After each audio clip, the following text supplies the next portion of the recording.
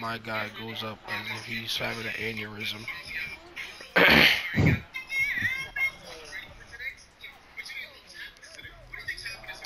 what? This nigga just fucking floated backwards. What am I going